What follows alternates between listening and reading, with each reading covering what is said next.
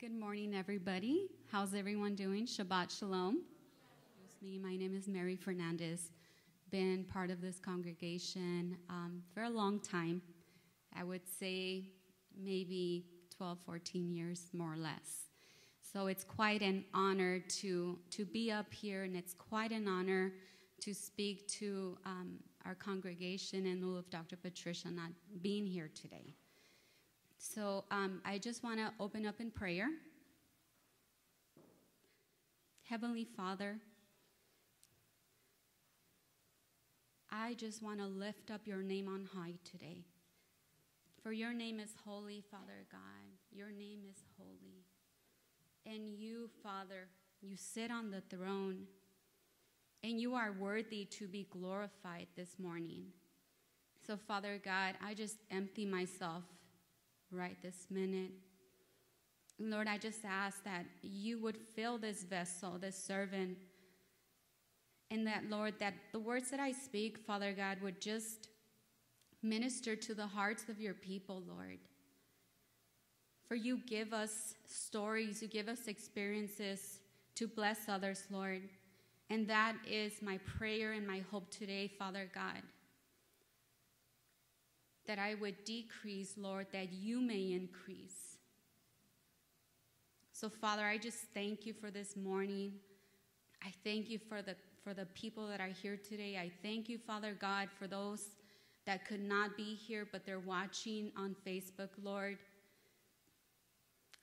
Magnify your name in this place today, Father God. We give all glory, praise, and honor to your name, Lord. Amen. Thank you. So, Pastor Reina asked me about a week and so ago if I would if I would um, be interested in sharing, and my first thought was no. it's kind of scary being up here, but you know we have to be faithful because when God gives us a message, when He gives us a story, we are then responsible to share. We are then responsible to share um, of His goodness. So, the title of my message is Pain is Not Forever. And that came to me actually through a dream. If you see, we're wearing our pink um, bands here, and this is my mother's picture, and that's actually the ribbon for breast cancer. And about a month ago, I had a dream, and um, wasn't really thinking much about, you know, my mother's um, journey through breast cancer, which is now two years. And my dream, um, my sister, AG, who a lot of you had been praying for her, and my mother and myself, we were all walking to a breast cancer event.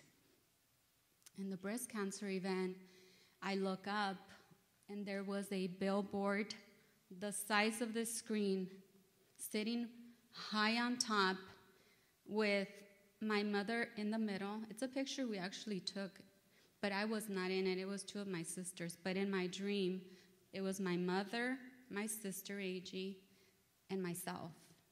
And she was wearing her, um, her little wrap, because at that time she had no hair. So she's wearing her wrap, she's smiling. My mother just smiled all the time, even through the pain, she smiled. So she's smiling, I'm smiling, my sister's smiling. And then, um, as a tagline, kind of in the billboard, the words read, Pain is not forever. And I thought about it, and I thought, well, what an unusual dream. And there's a twofold part to this dream number one, it really comforted me because as time passes and you're no longer in the storm, the pain gets better, you know. But when you're in it, it feels like it's gonna be forever. And so um, I went through a more recent painful experience with the one sister in the picture, and hers had nothing to do with cancer or maybe in the spiritual it was, but it was a sickness that she too had gone through. And that experience was very, very painful to me as well. And so um, God has a way of comforting me through dreams, through visions, through His Word mainly. So, anyway, I wanted to just start off with how I got the title. And I, I honestly thought it was just for me. I shared it with a few of the sisters here. But I guess the Lord had other plans. So I have three stories to share with you. And the reason why I was led to share these three stories with you is just to give you guys hope. God doesn't allow us to go through a storm, a situation for nothing, for no reason, just because God is up there thinking, how am I going to mess this one up today? Absolutely not. We go through these things for a purpose, for a reason. And the other thing is that when we actually share testimony and we share with others what God has done, we don't ever forget. And, you know, now we get to read the Word of God and it's written for us. But back then, in the earlier years of the Bible, it used to be an oral tradition. And so the Bible was spoken, and the Bible was acted out. And now we quietly read the Word, and, and um, part of the Bible is stories. And so you hear these stories, you read them out loud, and they encourage you. And I encourage you guys, that if you guys have a story, don't sit on your story because it may bless somebody else. So, my three stories um, all have to do and are concerning with um, sickness, physical sickness, particularly cancer. So I'm going to share with you briefly um, my first experience. So my first experience um, with cancer was with my first husband. His name was Senior Alexis, and he battled a two-year ba- two-year um, battle with cancer. We were high school sweethearts, um, so life started really fast for us because we were in high school, we had babies, we got married. But you know what the most important thing that happened during this time? We made a covenant with God. We were introduced to the most amazing Savior, our Lord Jesus Christ, which was going to change everything had no idea, had no idea that the children that came, the marriage, what was more important was the covenant we made.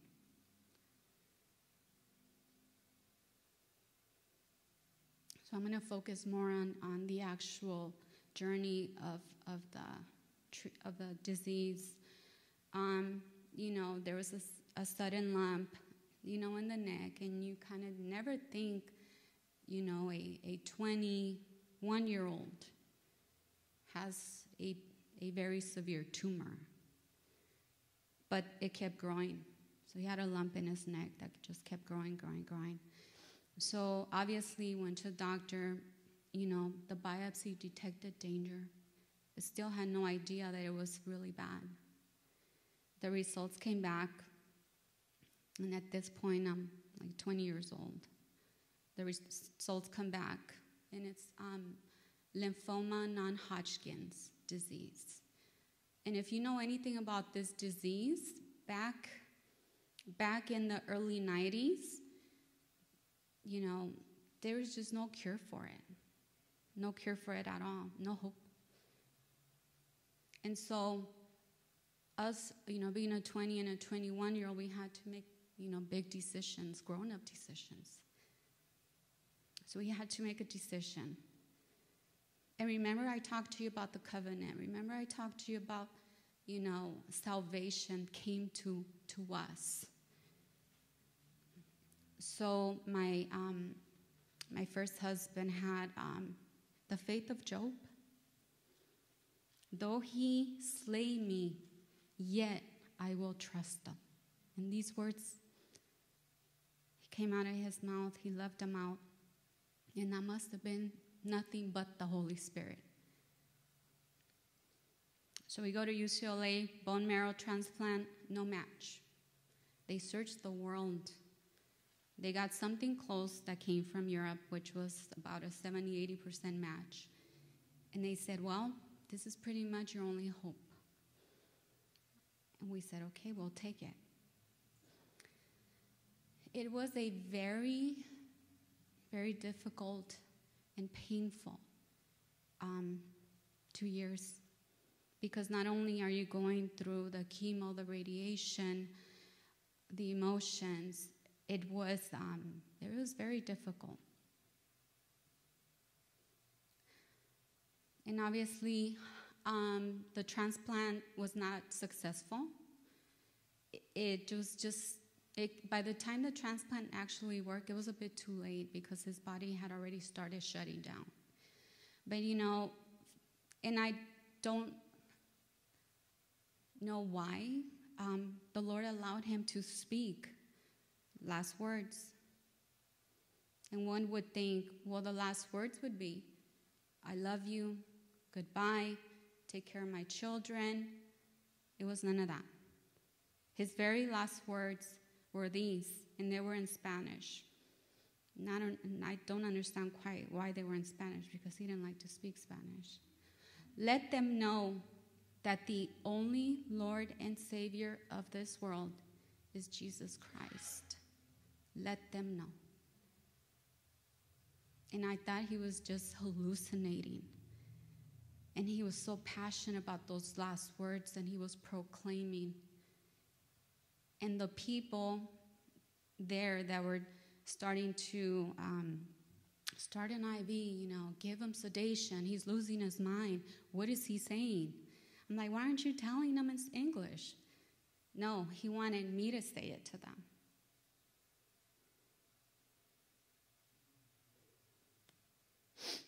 Revelation 21 4. And God will wipe away every tear from their eyes. There shall be no more death, nor sorrow, nor crying. There shall be no more pain, for the former things have passed away. And you know, um, cancer took his physical body, but it did not take his spirit. It did not take his spirit. His spirit is with our Heavenly Father. Blessed, Matthew 5 4. Blessed are those who mourn, for they will be comforted. Honestly, when I was 23 years old and I was a young widow with two children, I could not understand this. I could not understand how I would be comforted. What am I going to do now? What am I going to do?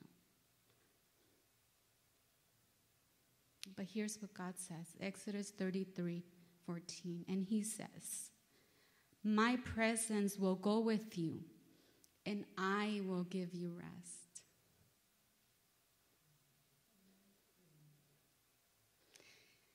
Here's what he also said Joshua 1 5. No man shall be able to stand before you all the days of your life, as I was with Moses. So I will be with you. I will not leave you or forsake you. And I, whenever I pray for people, I pray for them about this. I will never leave you. I will never forsake you. Why can I say that with such confidence? Why? Because he never left me. So I, I, would, I really wasn't going to cover this, but for some reason, you know, the Holy Spirit would just bring it back to my memory and bring it back to my memory. So I wanted to talk to you just briefly about grief I know it's a touchy subject for a lot of people.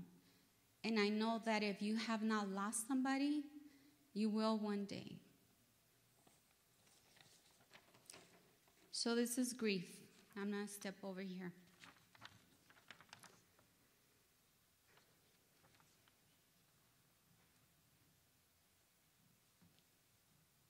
So, grief is something the size of our chest. And this is what we carry. So, what's in grief? The grief box pain, sorrow, sadness, torment, regret, guilt, remorse, suffering, broken heart, and despair. And here's what I learned about grief God allows us to carry our grief around. We're working, we're driving, but I got my grief. We're still functioning. No one can see this, but we feel it. It's on our chest. We walk around with this. It doesn't even have to be the death of someone, it could be the death of something in your life. Whatever's caused you grief, and God will allow you to carry this until one day you decide. And often we carry this out of guilt and regret. God, if I give you this grief, I don't love this person anymore. I don't remember them anymore. But here's what God showed me. So put this down, give it to me, pretend God's right here. And it took a long time for me. And I said, Okay, Lord, I will trust you. I will trust you with this grief. And this is what God gave me instead joy. So, what's in your joy box? Because it's still the same. It's still the same size of your frame, love, hope, peace, relief, blessings, comfort. But here's the thing, you guys, and sometimes we pick it up and give it back. And God is so merciful and patient with us that He allows us he allows us to replace all this with His promises. But we have to be ready to let it go. It's not anybody's timing, but your own timing and God's timing. Grief versus joy. Now, here's the good news of salvation the Spirit of the Lord God is upon me, because the Lord has anointed me to preach good tidings to the poor. He has sent me to heal the brokenhearted, to proclaim liberty to the captives, and the opening of the prison to those who are bound, to proclaim the acceptable year of the Lord and the day of vengeance of our God, to comfort all who mourn. To those who mourn in Zion, to give them beauty for ashes, the garment of praise for the spirit of heaviness.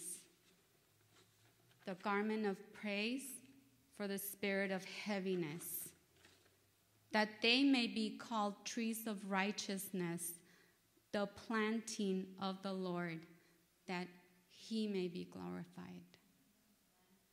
All this, all this. But did God ever leave me through this?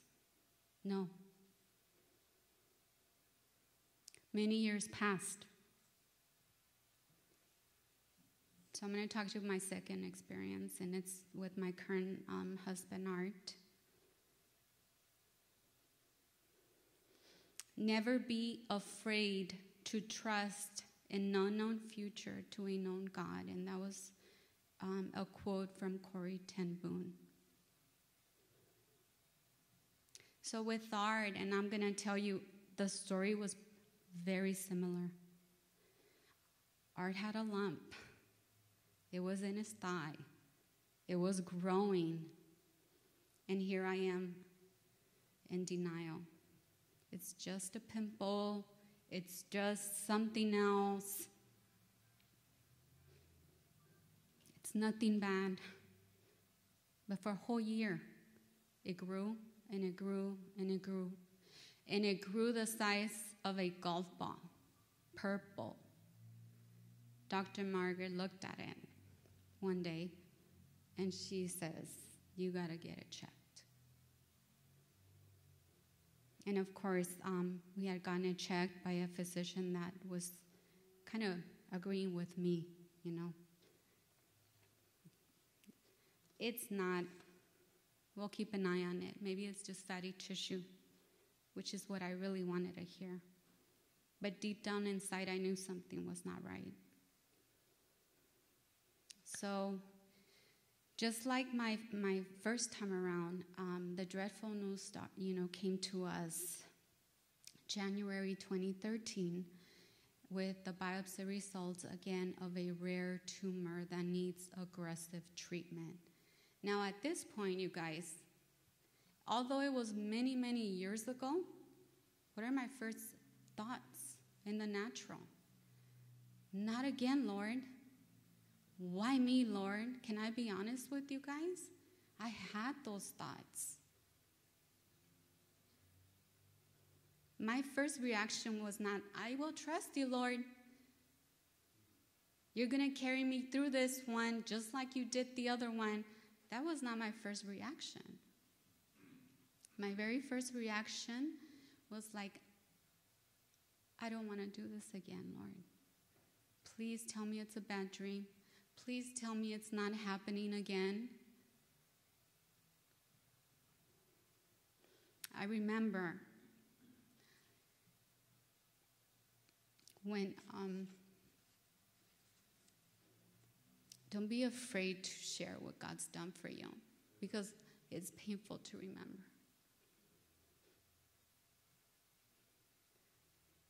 But it's also joyful to remember the outcome.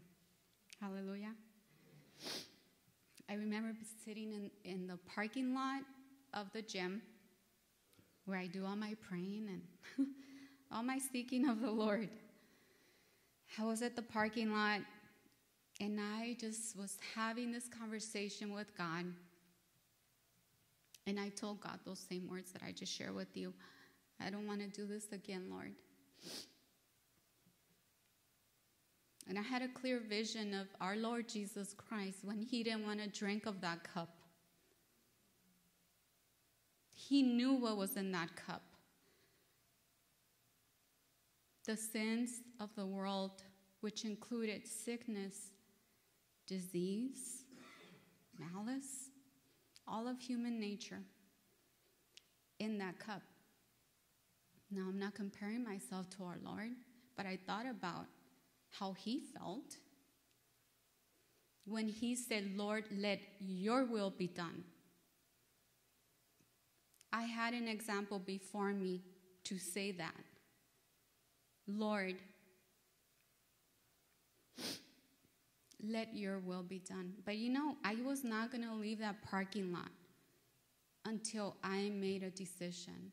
I could not leave that parking lot being unsure, not willing to fight for, for this man. He needed his helper. My children needed their mother. They've seen me as a strong woman, and I cannot fail them now. So that day I made a decision. I said, Lord, your will be done. I will fight. I will do all that I can do, and I will trust you. So March 2013 through 24, uh, the following year, 2014, was the year of um, a whole year of treatment at City of Hope. you know, I didn't have your typical, like, you know, check in one day, eight hours, an hour drip. No, Art was in the hospital two days and five days at a time for a whole year. I honestly have so much respect for this man and honor for this man because he is a miracle from God. And I want everyone to know this. He's a miracle from God. God chose this man to be alive. But Art had the will to fight. Art said, he said, Are you okay with whatever happens to me? I said, Of course I am. He says, Because I'm placing my life in his hands, regardless of the outcome.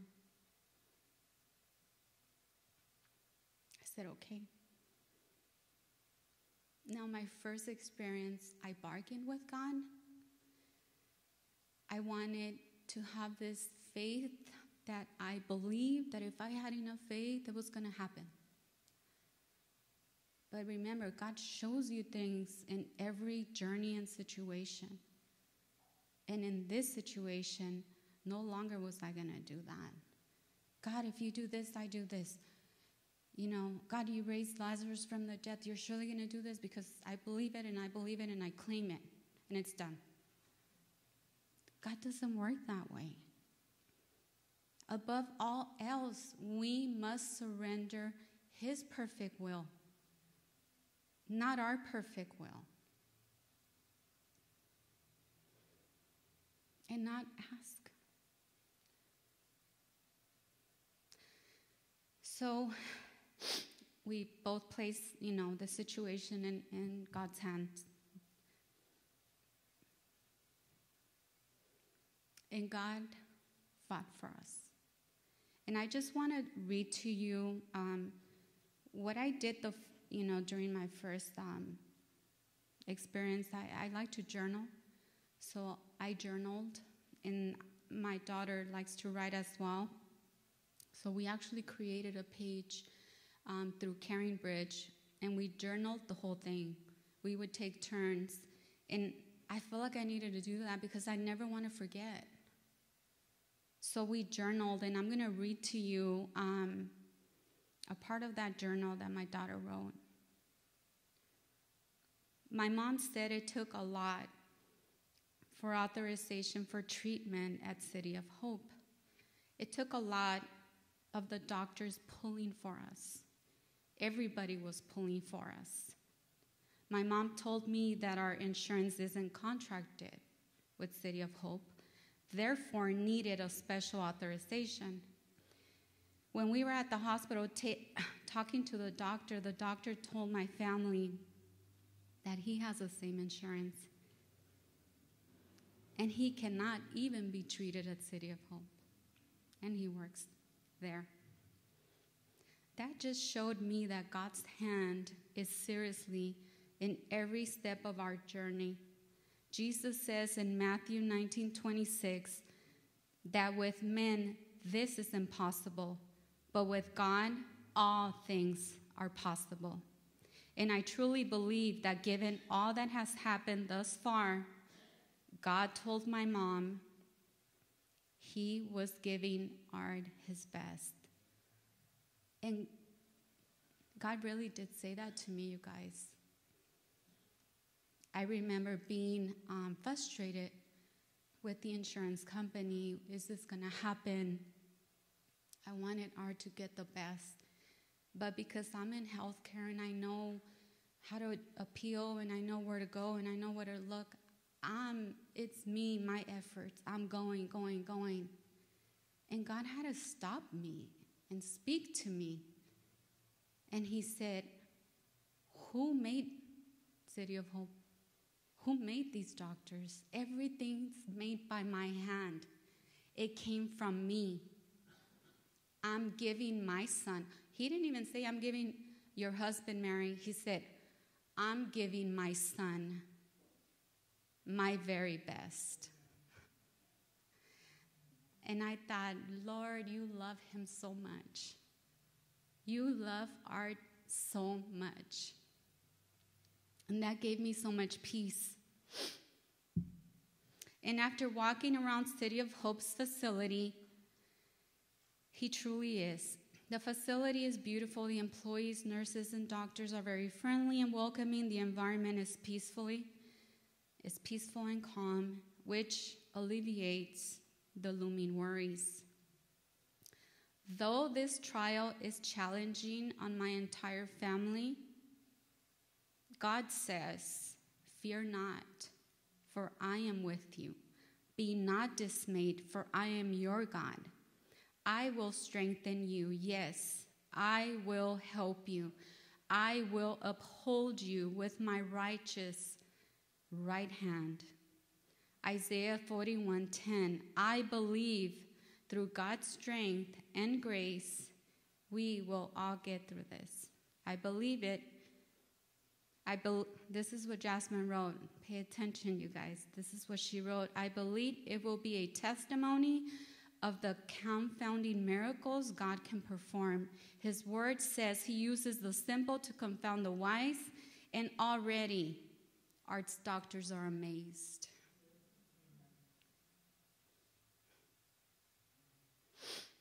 This was at the very beginning of his treatment, guys.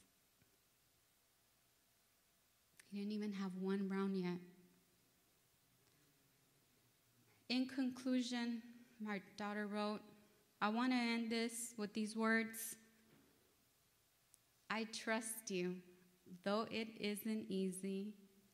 Sometimes the pain in life makes you seem far away, but I'll trust you. I need to know you're here through the tears and the pain, through the heartache and rain. I'll trust you. That's the song she sang.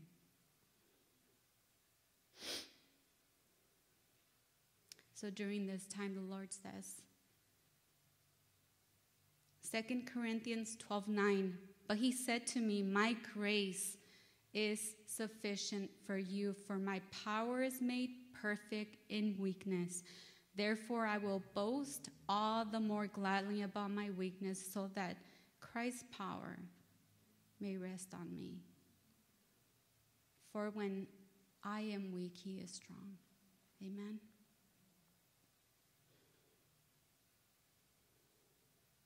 So it's now been five years. And um, my husband is healthy, he's alive, and he's um, taking his day serious and being all that God has called him to be.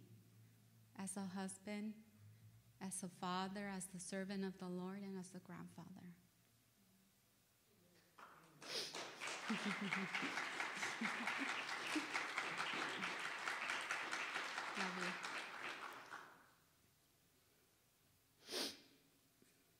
Okay, so my mom, like, is there more? Yes, there's more. We're wearing these. So, Art had already been a year in remission. So, this is year three. First year was um, a whole year of treatment, and then two years, I believe, of remission. So, October 2016, my mother calls me. She has a lump. She has a lump in her breast. And I thought, maybe it's just a little lump. I said, okay, mom, I'm off on Monday. I'll take you to the doctor on Monday. It was Columbus Day or something. I didn't rush to take her to the hospital because honestly, I didn't think it was anything. So I go, and she shows me it was the biggest thing I've seen. It was the size of Art's lump, too. It was like the size of a golf ball. And I said, Mom, how do you not, how did you not see this? Tell us about this. She says, It just happened. I'm like, Okay, here we go. So that started again the waiting, the uncertainty. Now, this time, I had already gone through Art's. And I, I said to the Lord, I was journaling at that time already. I was already journaling, and I said to the Lord,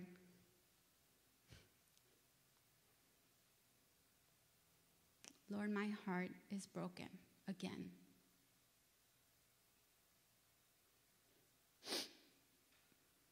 And this is a scripture that God gave me during this time. Psalm 61 2. From the ends of the earth I will call out to you. Whenever my heart is faint, lead me to the rock that is higher than I. Whenever, in another translation, is how I really read it. When my heart is overwhelmed, lead me to the rock that is higher than I. Who's the rock? Who's the, who does the leading? Who, who's doing the ushering? The Holy Spirit. Yet I didn't know that this verse was going to get me through this time. Didn't know how. The, the, the dynamics were, were totally different because now I'm a daughter, this is my mother. There's so many other players involved. Not, I had more control over here. My husband, we prayed together, we agreed. It was easy. We were on the same page. Our children, we were on the same page. Now, with my mother, it was a different story. More trusting. I thought I had to trust a lot when I trusted the Lord with my first two experiences, but with this one, it was a lot of trusting. When we got the diagnosis that my mother did have stage four breast cancer, it felt unreal to me.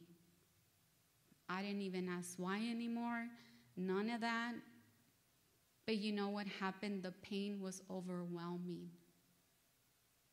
I literally felt like my right arm was cut off. If, if you can picture the pain of that. This is my mother. She took care of me, she was a strong one. So, my family, because of my experience, they're like, You're team captain.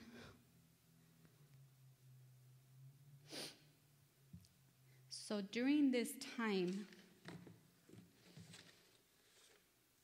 it's what got me through.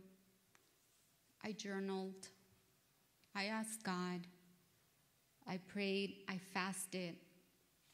I was reading this journal, I had to pull it out. I was reading this journal um, during the week, and the pain came again.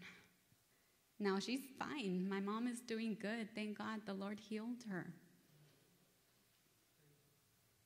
But sometimes when we remember the pain, greater is the joy, right? So I just wanted to read you one thing I wrote, a couple of things I wrote on here. I wrote this around this time. His strength is perfect, raised in his power. The weak become strong. It's a song, actually. I kept hearing it, hearing it, and hearing it over and over. Let us run the race that is before us and never give up. Hebrews 12:1 Lord, in this race of life, help me finish strong. Help me endure during the trials of life.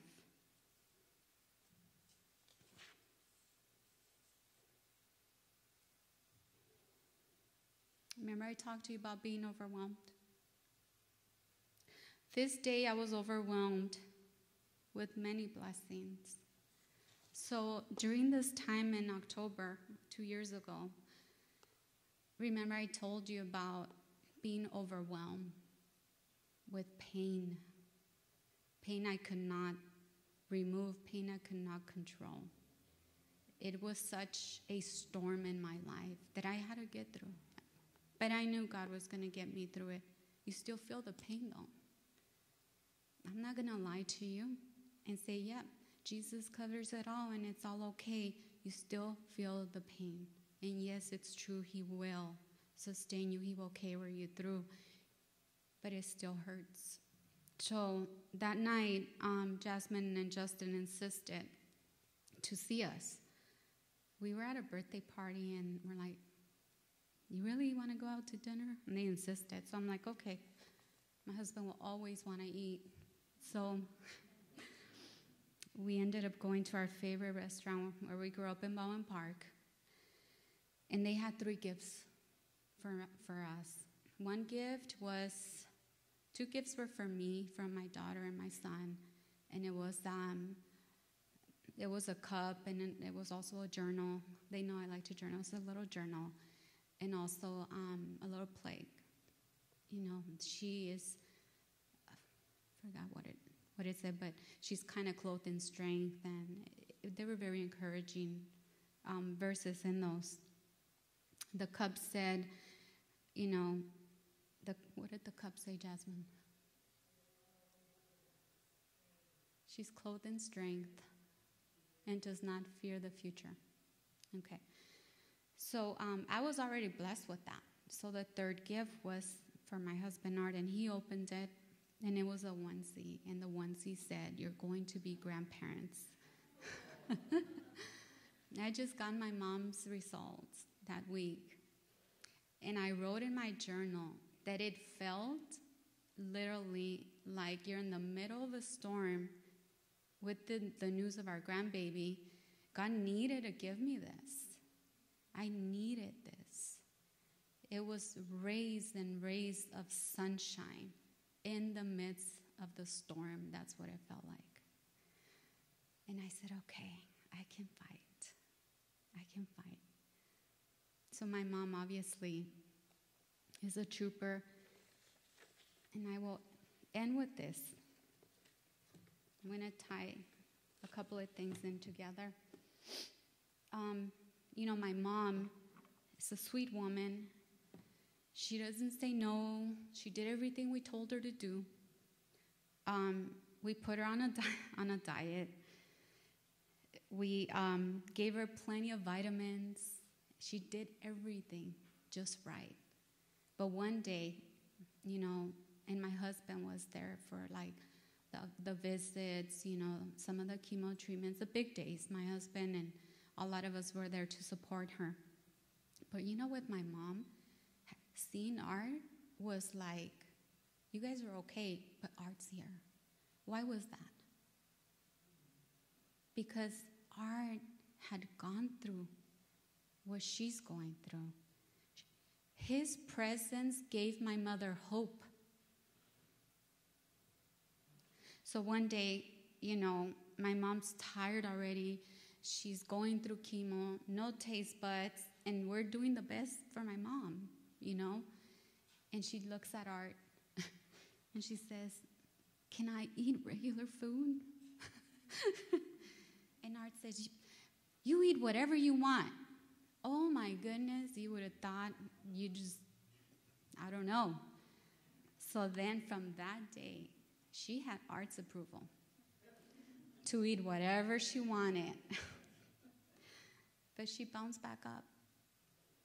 And what God showed me is that, and I'm so grateful, so grateful for my husband for doing this, that he um, prayed for my mother.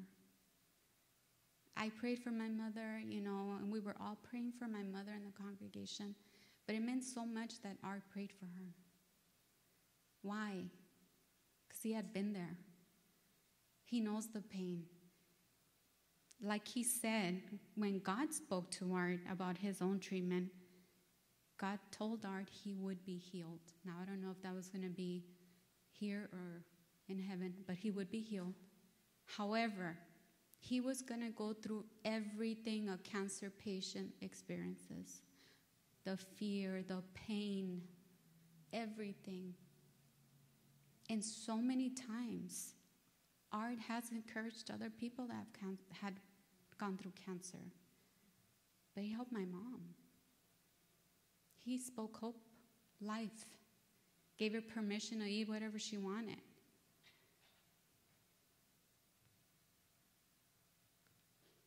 So I'm going to conclude with this. So we have the hope that one day there will be no more tears, no more pain, and no more sorrow. Amen. Thank you for your attention.